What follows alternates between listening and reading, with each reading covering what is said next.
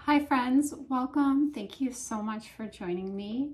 Today we're going to do a reading for Scorpio, Sun, Moon, Rising, and Venus, or if you have a Scorpio in your life that you're hoping to have a deeper understanding of what's going on with them.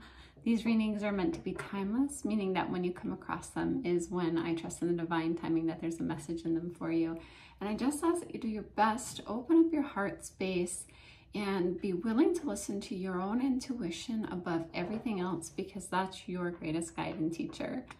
Okay, it's such a wonderful thing to be here with you this morning. I really appreciate you. I just want to say thank you so much for the likes, for sharing, for the comments. It all really helps me and means a lot to me. And um, I just wanted you to know that. Okay, so the bottom of the deck today is the Two of Raphael, which is equivalent to the Two of Cups. This is, a, today I'm really feeling this is a card about two hearts really coming together and joining in the light here. So this really feels like a deep love. Um, for some of you, it can be like kindred spirits here. I feel this soulmate energy here. Um, and also for some of you, it's a message to not give up on those that you love. And with that, we also have the page of Ariel. So some of you may be dealing with someone who's young or a child also because the pages are a young energy, but it's also a messenger energy, and Ariel is pentacles or earth. So this could be a really good opportunity that's being offered.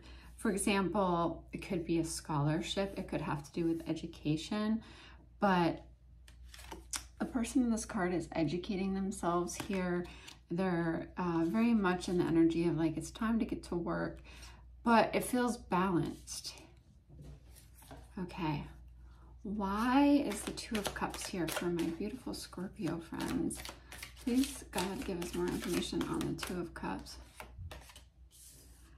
The Four of Ariel, or the Four of Pentacles. So there's, a, noticed lately there's been a lot of Pentacles coming out in the readings, which is very interesting. The Four of Pentacles really much also along the lines with the balance. It's when you give, you also receive. It's important to be in both energies. So for example, if you're always giving and you're never allowing yourself to receive, that will be draining for you. So if someone offers to buy you a coffee, let them. If someone offers to do something nice for you, allow them. Allow the giving and receiving to both be balanced out here. Um, and I feel like with that Two of Cups, because that's what I was asking for clarity on with this love situation, it's a balancing in this love situation of giving and receiving between both of you. Um,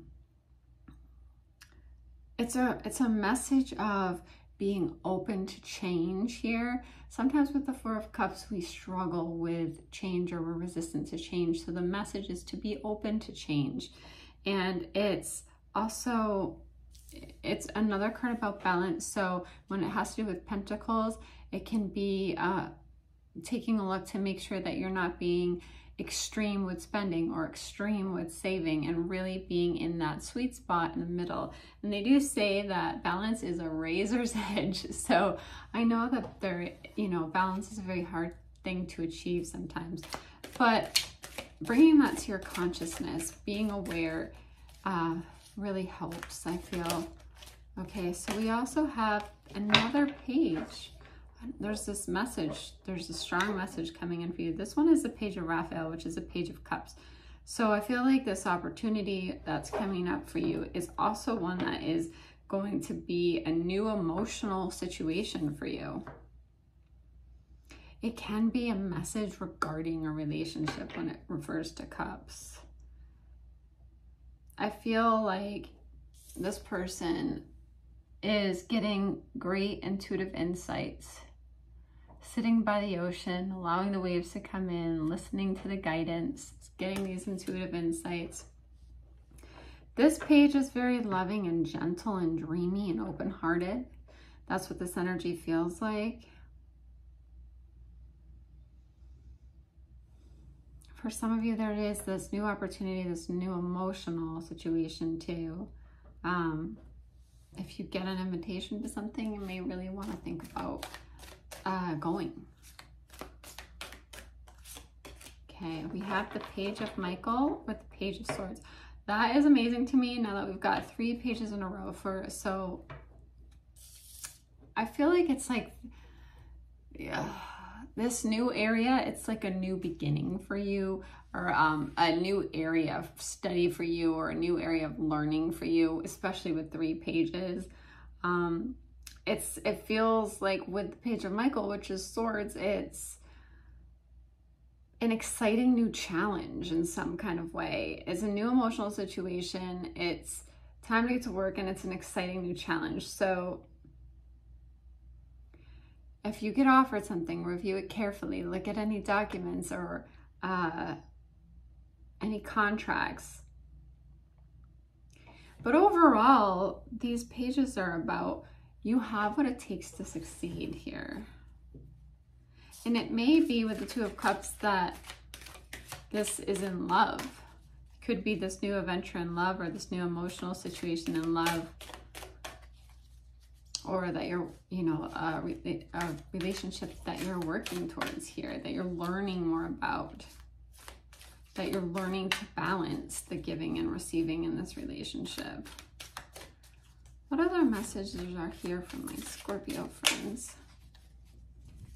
What other messages do we have for Scorpio?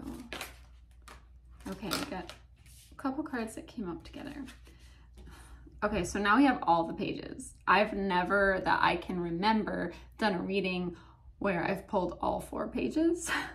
um, so that's really incredible to me. The page of Gabriel came out, which is the page of wands, along with the nine of Ariel, which is the nine of pentacles. And nine of pentacles is a very, very good card when it comes to um, the material world, your finances, being independently be able to take care of yourself. The Page of Wands is following your passion. So here, like, it's like you're following your passion, you're following your heart with the cups, your mind with the swords, and it, I think this is like a very stable situation for you, but it's, it's like you're in the newer stages of it and you're ready you're ready for this excitement. You're ready for this adventure. You're ready for this challenge. You're ready for it. Scorpio, you are ready. and the Nine of Pentacles, this is meaning that it's your step towards your dreams being fulfilled. This rainbow here is chasing her dreams and the dreams being fulfilled. The Nine of Pentacles means that all of this leads to success for you you're creating a beautiful life for yourself. And this card came out also, I believe, in the weekly reading. So if you haven't had a chance to watch it, I would really watch it because there's lots of pentacles in that as well as this card. But all these pages, there's this new adventure. It's um it's a new territory for you. It's exciting for you. Uh, it's emotional, it's heartfelt. It's also, but I feel like you have with the four pages, again, the balance, you have the balance of air, the balance of earth, the balance of fire, and the balance of water, all balanced out. They're all showing up here. So this balance, this adventure, this new thing leads to the success for you and success is different for every person it's defined differently for every person so it's important that you take the time to ask yourself what does success look like for me? More importantly what does success feel like for me? Because it's different for every person. It could be freedom. It could be financial success for some. It really it's not about judging what it is for you. It's about uh, being in touch with that and being willing to understand that you are drawing that in here but also scorpio with a nine of pentacles this is your this is independently you doing this. This is you are doing this. Um you've created enough stability and material success for yourself here is what it really does says. And then you're also creating a beautiful life for yourself and you're creating a beautiful life around you. Okay scorpio thank you so much for joining me. I hope you got some messages that are helpful to you please subscribe and i will see you again soon